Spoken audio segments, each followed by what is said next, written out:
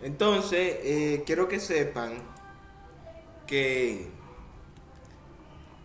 que Indomet vigila, señores, eh, vigila dos posibles ciclones que continuarán lluvias en el día de hoy en algunas provincias. Yo le dije la semana pasada que en esta próxima semana eh, habría la posibilidad de que unos ciclones se acercaran a las Antillas mayores y de esos ciclones estamos hablando. Tienen, no es que son ciclones todavía, es que tienen eh, un 10% hasta el momento de posibilidad de convertirse en ciclones. Por otro lado, señores, eh, vamos a ver cómo vamos por acá. Ok, hablemos un poquito ahora de el bono a mil. Que hay mucha gente que se está preguntando, muchos tutores, que se están preguntando por qué ellos no cobran el bono a mil de algunos niños que ellos atienden. Eh, o sea, tío, eh, amigos, familiares que cuidan a algunos niños, abuelas, ¿verdad? Cuidan niños, son los tutores de los niños, pero ellos no, siendo ellos que hacen todo con los niños, eh, no cobran el bono a mí, lo cobran los padres y, y, a veces los padres están a distancia. Mire que lo que sucede. Cuando registran o cuando inscriben a un niño en la escuela, anotan a la persona que lo inscribió ¿Me está entendiendo? Anotan a la persona que lo inscribió. Y entonces esa persona pasa a convertirse en el tutor. Eh, alguien, me, alguien me contaba que recibe dos bonos. Recibe dos códigos, le envían dos códigos. ¿Por qué? Porque ella inscribió eh, a los hijos de ellas de ella y también inscribió a dos sobrinos, pero los sobrinos no viven con ella. Parece que en ese momento los padres por alguna circunstancia no pudieron inscribir a los niños y, y, ella hizo el favor de inscribir a los niños y a quien la registraron fue a ella en el sistema.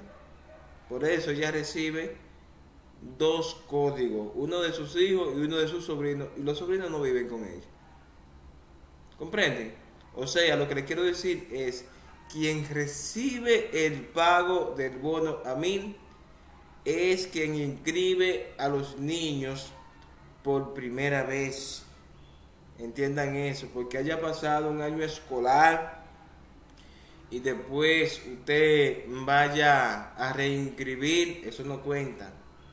Lo que cuenta es la primera vez cuando usted lo inscribe para que sepan eso. Entonces yo le decía con respecto al mismo bono, que no va, si usted no le ha llegado su código, no vaya hoy, vaya a partir de mañana, porque hoy los bancos de reserva están completamente abarrotados. eh, siguiendo con otras informaciones, señores, un trágico accidente en la Yaya de Asua, antes de ayer, el sábado por la noche.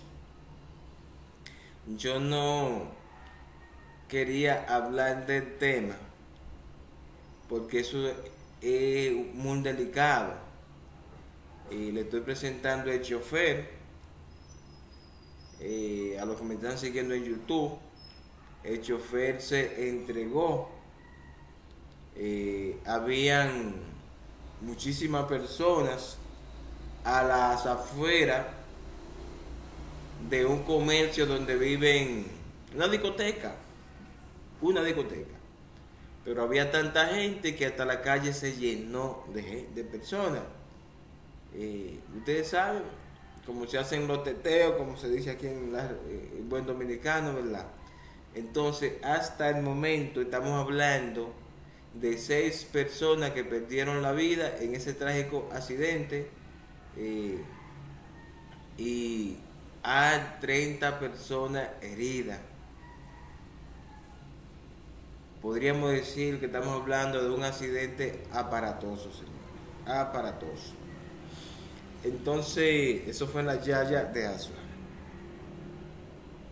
Eh, señores, para los que sienten, para los que sienten que tienen eh, alguna situación de salud mental, ponen en funcionamiento a partir del primero, del día 1, del día 1 pusieron en funcionamiento, el día 1 de agosto, pusieron en funcionamiento, ah, no, no, van a poner en funcionamiento, sí, no, estamos en septiembre, no fue 1 de agosto, es ahora 1 de septiembre. Pusieron en funcionamiento un centro de contacto telefónica de, de salud mental, o sea, cuida tu salud mental, así que se llama. Cuida tu salud mental, un centro de contacto que cualquier situación que usted sienta, eh, ya sea con su estado emocional, problemas mentales, eh, usted llame y dice que estaría disponible todos los días de 8 hasta las 12 AM, señores, o sea, hasta las 12 de la noche. Oigan bien, miren que heavy. De 8 de la mañana hasta las 12 de la noche todos los días. Tenemos entendido que esto es una iniciativa de, de Raquel Peña. Entonces el número de teléfono lo voy a a poner en pantalla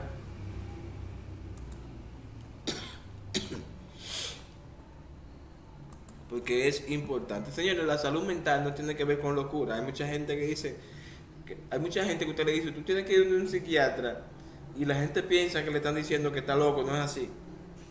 Eso no es así. Cualquier, persona puede tener un estado emocional que necesite asistencia o apoyo, señores y para eso está el número de teléfono 809-214-00. 809-214-00. Y pasando eh, al tema que mencionamos con respecto a la cesantía laboral, que había un grupo de empresarios que estaba detrás de que quitaran la cesantía laboral, o sea que a los eh, empleados no se le pagara liquidación, se le peló el billete. Eso no se va a tocar, no se va a tocar en la modificación eh, del Código Penal, señores. Y pasando ya a un tema de ti, ustedes saben que le estamos dando seguimiento siempre a los temas de ti la policía keniana lanzan operativo, señores, lanzan operativo militar en algunos barrios donde operan las bandas, principalmente la de barbecue. Así que ya ustedes saben.